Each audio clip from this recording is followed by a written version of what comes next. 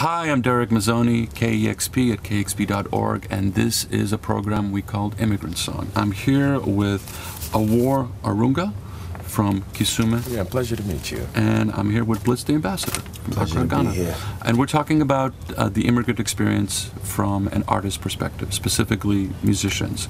So can you tell me a little bit, Blitz, about yourself and how you came here? Well, I'm born, again, raised in Ghana, Accra. Um, I was fortunate um, to come here for college. Okay. Um, so I came, um, went to Kent State University in Ohio, and um, but you know that was the parents' story because you know in Ghana I couldn't just be like, hey, I'm coming to be a rap star. Like that was not even a concept. No. You know, so I I, I had to play the education card and let them know I was going to be a very respectable doctor or lawyer, something, you know, something they could agree with. And, um, you know, once I got here, it was about um, getting that degree because they needed to see that. But uh, most of my time was spent creating the platform okay. to be this artist that I am. Okay. What about you, or how'd you get here? Yeah, well, um, I remember seeing a Michael Jackson video for Thriller in Kisumu at the Nyanza Club and that was amazing. That's what inspired Michael Jackson inspired me to come to the United States. Okay. So I pressured my parents. I was like, "Yo, we gotta go." My dad was um, the first black student body president at Shoreline and the University of Washington. Mm. My mother was active in the Black Panthers in Seattle. So um, they had some history here, and I knew that. So I was like, "Yo, when are we moving?" Okay. So I ended up here, you know, at an early age, around 10, 10 years old and uh, my experience has been interesting. You know, lately I've been kind of peeping the scene, and it seems, um, you know, it's kind of it, it, makes you sad to see what's happening with you know the African community, the Black community. You know, uh, the way you know many of us are being murdered. You know, uh, the unjust treatment of our people, mm. and that really touches a heartstring in me. You know, I think uh, the idea of the United States is incredible on paper. Mm-hmm. And um, it would be nice to see our generation change that. So, as an immigrant here, I've never really considered myself an immigrant. My mother's from the States, my dad's from Kenya, but uh, uh, I was raised to be a global citizen. Okay. And I'd like to see, you know, the United States kind of evolve in the way they, the sincerity of the way they treat, you know, the black population. Do you put that in your music? Is that the intention in there? You know, like for me, I think um, it's one thing to complain about the situation, but it's another thing to take action. So I'm trying to manifest that part of my journey. Okay. You know? And that is through what type? Because I've, I've done some research on you, and yeah. you fall in the the, the jazz spectrum, um, which there's there's a, a, a, pretty strong history of of that type of um, activism through music. Yeah definitely. For instance, um, I also play with a group. I'm a contributor for the Macklemore and Ryan Lewis yeah. project, and you know, every I've done every show with them. And uh, I remember doing the American Music Awards, and we were in Florida, and I told Mac I wouldn't play. Like I'm not gonna do it. I can't play this. And we were on. It was the day that you know we get this huge award, and uh, I said we need to do something. Something needs to be said you know. So on that day on air, he said, you know what? I'm gonna say something about like what's going on in America right now, particularly with the Trayvon Martin case, yep. it being Florida, mm-hmm. and uh, you know I try to I try to channel and use the platform in little ways. I mean, people might not know it, but I'm constantly that is my that's my path. That's my you know that's my role is to let it know how I feel. Okay. You know so that day he kind of like said let it know let it be known that you know thousands of people die you know due to police violence and you know it was something that you know we pull on the the ancestors so people like Malcolm X called the music the message mm-hmm. Martin Luther King said injustice anywhere is a threat to justice mm-hmm. And I truly believe that. So I try to pull on this realm of ancestral artistry. Mm. And I pull from the ancestors, and the spirit speaks for itself. Okay. Yeah. So your parents played a role in, in this intention work. I mean, it sounds like they you, you, you, you came from a place where there were certain things expected of you. You didn't just like I'm just going to go there, get a job, and make some money, and then I'm fine. Which is often what we, we covered earlier, where it's like you move to a place and your parents, okay, you're going to go there, you're going to get a, you're going to get an education, you're going to get a job, and you're going to uh, be better, you know, because you're entering this land like Michael Jackson, where it's like you go to America, the streets are paved with gold, everything's going to be fine. I'm an immigrant too, and there's like a, a completely different perspective as soon as you get here. But there is a population here that is just trying to assimilate, that is just, not even assimilate, that is trying to like work their way through this confusing landscape. Yes. And how do do you as an artist do you speak to the population or have you just gone like okay i'm a global citizen i'm going to speak to what's happening to me right now and if you're doing that how do you bring that population in how do you create this music to like your look your the, the messaging as we were just covering this in, in the interview there's a going to be a generation that's going to be looking at you like like Stromae is like Yeah. that's I want to be that. Be that. There's something there. I completely agree. I mean, it, for for a lot of people, um, they don't have um, as much. They, they look for cues. They look Yeah. for cues of what is okay and what is cool. And when you're growing up in a space where the African narrative is um, so very often a negative one, where associating with Africa, whether ideologically or as a physical space, is the the worst thing that you can be. So one of the first things that a lot of us do is try to get the accent on point, try to get the the look on point, try to try to fit in and, and see Europe is in my travels in Europe I've I've met um, a different immigrant experience there. Like in America, because the African American population is pretty much from the inception of this country, there's a strong identity that, that comes with, right? So a lot of African immigrants, when we arrive, it's like, okay, now I can stand out and be that African guy who we know on the strata is lower, you know, or I can find a way to blend in with this this group that has already gone through a lot of struggle to claim identity. Then it makes it slightly easier for you.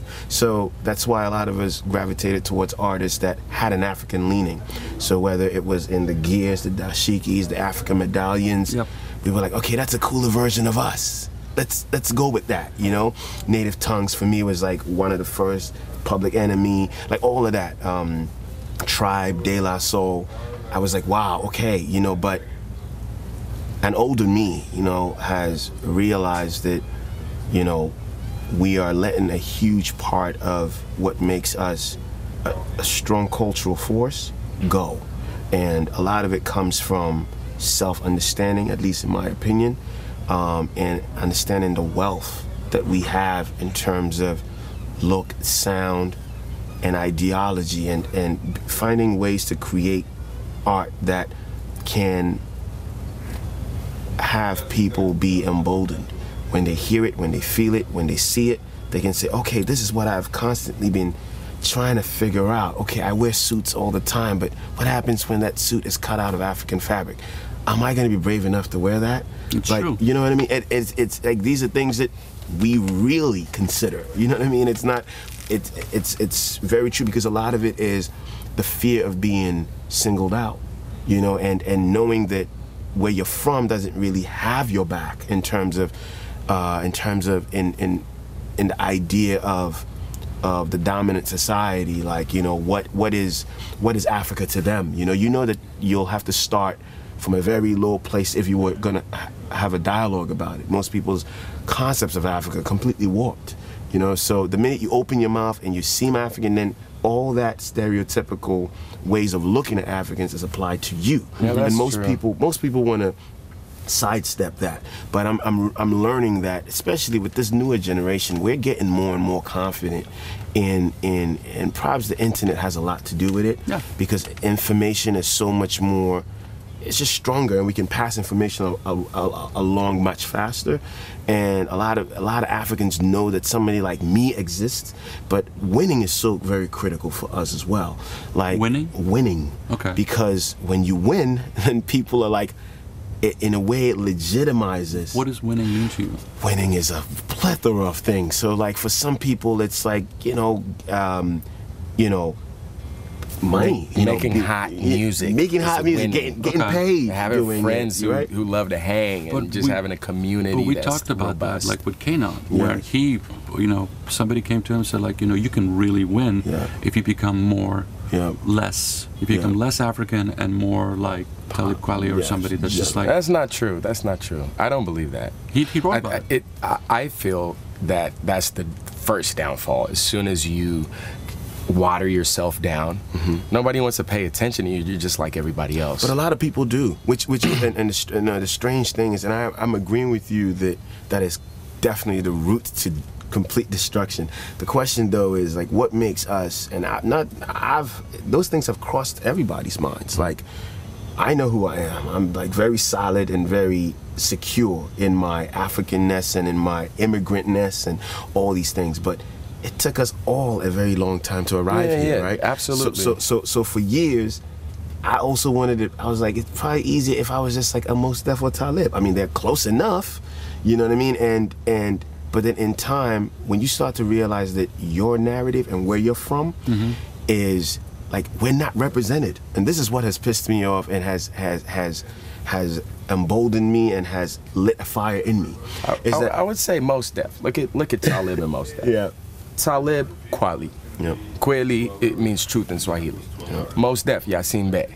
I mean these are cats who who are audacious about who they are. Yeah. I would say that they go against the grain. They're not, you know, golden variety, run of the mill type of No, no, cats. no, not at all, not at all. I, but it, I'm just using that as an example because it's like these are successful artists. Yeah. So if you're a producer and you're looking at K'naan, and uh, you know this is speculation on my part, but he did write about it. It's like you know I have something here that I can make more money off of if it's a little less Ethiopian and a little more like Mos Def or Somali. Talib Kweli or with that or Somali. Um, you're, dude, that is like that. There, there's a known quantity there that this population of record buyers and and and uh, absorbers of music would go for instead of this, you know, barefoot soldier that doesn't quite. Can I say sense. something really quick? Sure. I, I feel like, and this is part of a much larger conversation, which Yeah. deals with, which deals with self-confidence. And I believe a lot of groups go through this. I mean, every immigrant that has arrived in this country is trying to figure out where they fit. However, what's unique about the African experience is the consistent bombardment of negative stereotypes mm-hmm. about us. So whether it's like growing up with the commercials of like, you know, starving African kids, you know, yeah. and, and, and knowing that this is how the world perceives you. I think that that's our first deficit that we're arriving with, right?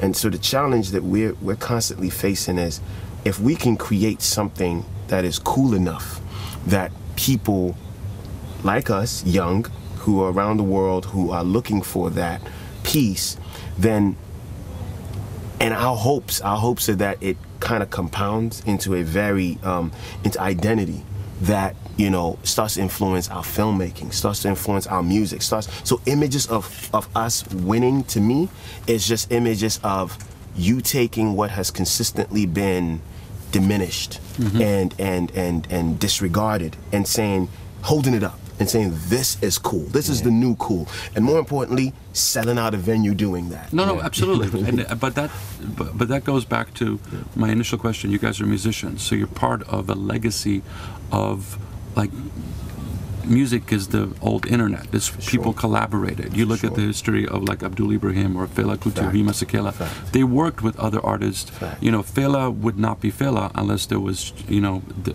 soul music and Fact. funk. And it's like I'm going to incorporate this to create my own African identity.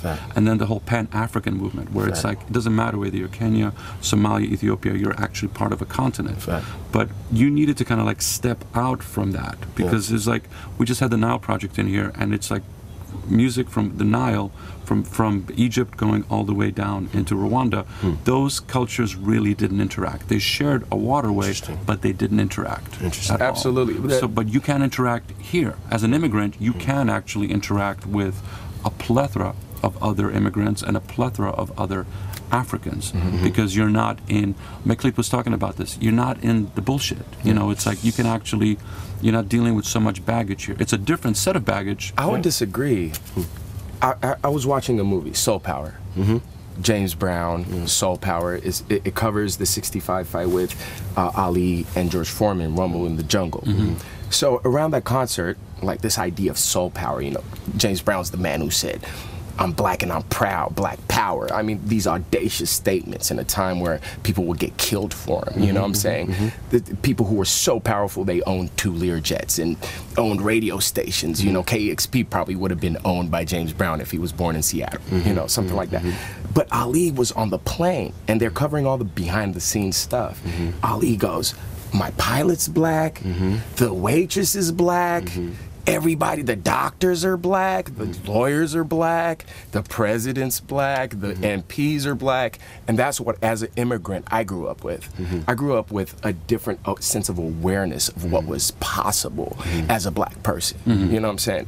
Coming from Kenya, my all my uncles were the, e- either doctors or scientists or all of these things. Now mm. you're right in the in the way that once you come out of that, you start to become more aware and appreciate mm-hmm. where you come from and the mm-hmm. fact that there isn't this um, unfair handing out of jobs. Mm-hmm. You know what I'm saying? Yeah. Like it's not everybody gets a job. Everybody could get work. Mm-hmm. That's what I see. I, I really saw a lot of benefits. Like going to Africa is really empowering because of that. fact. Because you see you see good actually. Mm-hmm. You, it, it, it, makes you feel stronger. You say, mm-hmm. man, these guys own businesses. These guys are running a country. These guys they have their own governments, their own states. Their you know they, they- all all of these things that you don't really see living in Seattle, for instance. No, no, no I absolutely jump, true. I, I wanted to jump in real quick just to um, speak on both what you guys are saying. Um, the the reality is that when you live in a place, no matter how amazing and no matter how much history and culture exists in that, it's hard to appreciate it fully. So, for instance, I, I live in New York. I won't go to the to the uh, uh, Statue of Liberty. But anybody who comes to visit me, that's one of the first things they want to go see, right? I lived in Ghana forever. I never went to any of the slave castles. Not until I had friends that came and they were like, "We got to go to the slave castles." That's when I went, right? So, but it's it's part of human nature. Like when you were in a space, it's hard to fully see it and appreciate it, right? When I came to Kent State as a, as a student, and this is where I, I was super appreciative. I said, "I'm." It was, a, it was a huge privilege to come for college, though that was never my plan. But that's when my ideas of Pan Africanism were born. Like, I'd read some books. I knew who Kwame Nkrumah was. I knew who Mal- I knew Malcolm X had come to Ghana. I knew Du Bois had died in Ghana and was buried there. But I never really knew the significance of that. Mm-hmm. Now, as a college student and studying Pan Africanism in Kent State, the, like the, the whitest of the white in terms of America, Yeah. Middle America, I was like, get the fuck out of here. I mean, I was, that was that was when I saw um, the possibilities in the diaspora. So my entire music today and how it has connected Brazil and Brooklyn and Accra all came from landing in Ohio. Strange but true, right? And so and so I'm saying this to say that it's all perspective. Some people are able to stay in Ghana and get this very same perspective based on family, based on the books that were around them, based on the conversations they had. Some of them had to leave. Like for me, I had to leave to to witness it from a, a larger perspective and realize that you know all our one struggles are are are similar, and two, all the solutions are tied within the They're, diaspora. that's it. They're linked. Like, um, I, I remember being a kid, and I, the reason I play trumpet today is because of a Tusker commercial, a mm-hmm. beer, and there was this silhouette of a guy playing the trumpet. He was playing Take Five, Dave Brubeck, mm-hmm. and I was like, "This is so cool." He had on a hat just like this, and he's just playing. You're the Tusker-like yeah, guy yeah, now? Yeah, he's just playing that joint, and I was like, "Grandma." When I came to the States, I found one in her basement. I was like, went to school for the first day and they offered the instrument. I said, What? Seriously? Okay. But I wouldn't have been able to find a trumpet in my grandmother's basement in Kenya, but I wouldn't have found the love for the instrument had I not been there either. uh, but I wouldn't have been able to play that if I was it, it- coming to the states allowed me to have one of those trumpets in my grandmother's basement to play. So they're linked, like it's all linked. It's, you can't remove one from the other. It's like a hand; each one's a finger. Without the thumb, you, It's true. So one of the things that's been driving this entire conversation with various immigrant musicians is that a being away allowed me to play. I might have been playing in my country of birth, but probably not. probably like a set of circumstances allowed me to actually do this. Like there was something about within me that came out. Um, because when you go to a new place, you have a different set of energies around you. You're anonymous too. Yeah, you can, but it's like, but it's going back to that that question of like, do I assimilate? Do I mm. try to fit in? Do I change my name? Do I lose the accent? Do I mm. lose the clothing, or do I take it on and let that be my my energy? Let that for- be the thing that I'm presenting. I think for a lot of us, it's been a, it's been a consistent evolution, right? From arriving at first and being the only one African guy in my entire business department in Kent, right? And like all questions relating to Africa, getting bombarded with them, and you're like, damn, I, you know, but you realize that you find understanding out of that and you find that you have to do some more digging yourself mm-hmm. right and then in time you start to become more confident at least i'm, I'm speaking specifically about my trajectory mm-hmm. you become more more confident in the information that you're gathering and then it starts to manifest in your work and i think that overall the, the thing that i've and it's the even more tricky thing that I'm beginning to see now. And my all my albums have kind of been this very conversation we're having. Stereotype was me arriving and having to deal with that. Native Son was me trying to wrap, you know, this evolution. Afropolitan Dreams becomes this. Now I think I'm here, but now the challenge becomes now I return home and I'm trying to be just like one of the people at home now, mm-hmm. right? That's a whole nother set of of because no, I'm not. I'm kind of like this guy who I'm not fully Brooklyn and I'm not fully Accra, right? So now I'm home and I'm trying to come up with ideas and people are looking at me like, "Will never work here." Like, did you think about X, Y, Z? Because I'm thinking it's you know, it's Brooklyn. You just show up and you get it done. No, it's Accra. It's like there are hundreds of reasons why you can't get it done, or, Yeah. or you can get it done this other way, right? And so, like, I think that now the conversation for a lot of us is how do we return and influence home the way the world has influenced us. And I'll say this, like in my study of Pan Africanism or, or just in general, uh, the black diaspora, is finding that Kwame Nkrumah, for instance, he wouldn't be Kwame Nkrumah without his time spent at Lincoln University, being influenced by Du Bois. That means Ghana wouldn't be independent the way it was independent. We wouldn't influence the rest of the continent the way we did, right? So you're looking at this one guy who could have just been the mm, student in Ghana who would have continued, but his urgency that he returned with, and I feel like that's where we're at now. A lot isn't working at home. And a lot of us are trying to figure out how this global landscape, I mean, we've been to so many countries, mm. absorbed. Now it's even bigger than New York and Ghana. Now it's, oh, snap. When I was in Brazil, what did I learn? When I was in Japan, what did I learn? You know what I mean? And so you're looking at all these things. And now when you return home, there's this urgency because you're like, I, I want to change something. I want to change something now. You know, mm. because I've seen how certain things work globally. And I, I feel like that's that's an interesting point. Uh, to that point, I would say I've found that there's a lot more opportunity in Africa than we give credit for. Fact. For instance, um, you know, I land in Nairobi, and I have a meeting with a, television producer, and they're like, "Yo, you need to produce a couple episodes," or you know, uh, the, the the television station knows I'm in town, so they're like, "Yo, we need you on the show," or the radio station, and, and I'm mm-hmm. like constantly running all these places. Come to Seattle, it's like I'm the Macklemore trumpet player. Yeah. You see what I'm saying? So, I, as an immigrant, I found a lot of value in that my parents named me the way they named me. You know what I'm saying? So like I can't escape who I am. Mm-hmm. You know. Yeah.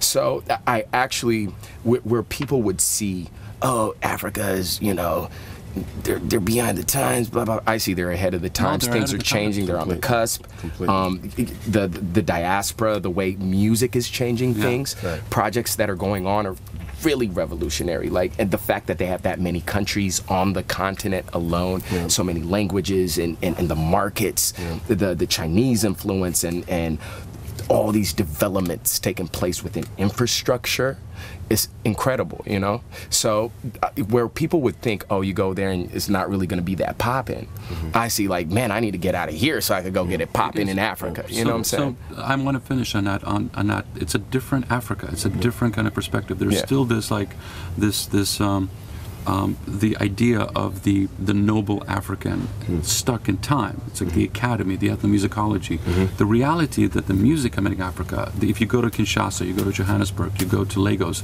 your mind is blown. These are very powerful, dense cities that are dealing with problems from a very different way. If you look at the music that's coming out, it's electronic music, but it's a different kind of perspective on it. Some of the development that's coming out, the, the websites that are coming out, everything is mobile. The, the way music is shared throughout. But it is, you're, you're hearing, it's coming here. It's coming to the West and then going back into Africa. Did. It's like you're not gonna go. You're not gonna be listening to music from Lagos if you're living in Nairobi. There's just not. You're not even gonna be listening to music. You'd from, be It's happening, surprised. yo. Let me tell you, It- it- I like was beyond- I just was gonna Okay, say something. I want- It's- I'd it- love we've that. my evolved time- beyond that My point now. time, my time, because I was just in Tanzania and Kenya. like, Yeah, a few, a few months ago, and I was amazed at how much West African music is being played in the East. Like literally every bar had like Nigerian music and all that. Now, now, now the thing Is it because of the television industry in Lagos? I, the I, movie thi- I film think I think industry? it's it's it's everything. It's- it's- Industry, It's, the fact that industry and people are moving at such a rate. Um, information is moving at such a rate. And before the internet, this is when I feel like we were at our most handicapped because. I mean, there were, there were the language barrier between Anglophone, Francophone, and then our our Mm-hmm. tribal languages made it very difficult for things to phone calls were impossible to make because they were so expensive. yeah, now we have yeah. WhatsApp, we have we got uh, all, all these apps that you could call your family and Yeah, friends for yeah, free, yeah. do deals. Yeah. Technology has revolutionized the way we information communicate. information Yeah. is traveling and i think that now and on the real and this is kind of what i'm saying is that we're having to catch up on our return because the it's it's it is Yeah. it is the evolution that has happened and this is where I, I call it the humble return you know what I mean? Because a lot of us return, like, I've been around the world, like, I'm Blitz the ambassador. Like, you should listen to me because I know. No.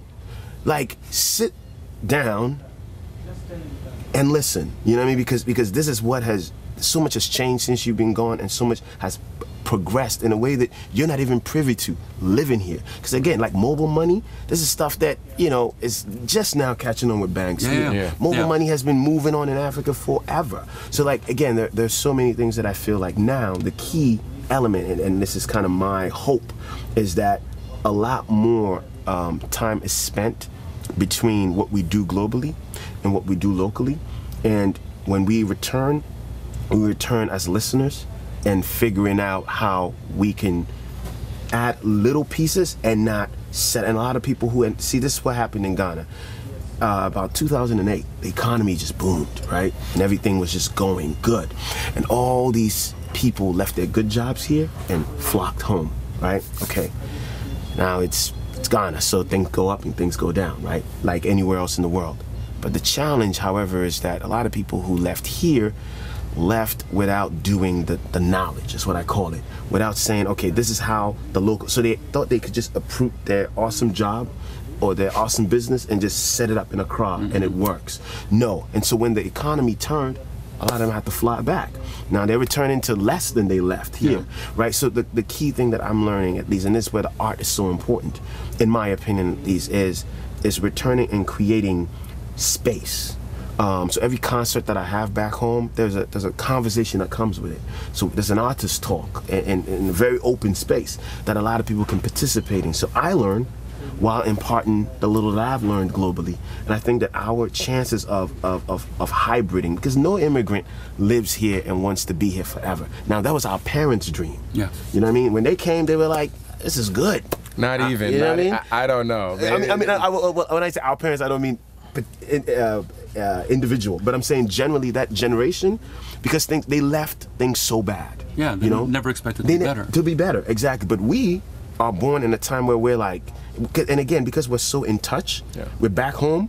Like back home, like you were saying, the phone calls that your parents would make back home Right. were impossible. The now you're flights are cheaper. The you could go from is cheaper. one city to the next. There's more Yo, airlines. Like you can look on your phone and be like, "What? They just did what Yeah. in Ghana?" So I'm, I'm feeling like we're at a place that all of us have to look back. Now the question is, how does that happen? You know. But that's your job now. As Yeah. artists, you need to assimilate that and then present it to the population. That's what you, as, by calling yourselves artists, that's kind of your, that's what you need to do. Because that is an experience that needs to be translated. It needs to be like alchemically manifest into something that the next generation can understand in one form or another. big Yeah. fact. Okay. Or, Pleasure. let's, pleasure. let's do this again. Thank you. Yes, absolutely. Darek Mazzone, this is Immigrant Song. Discover great music at kexp.org.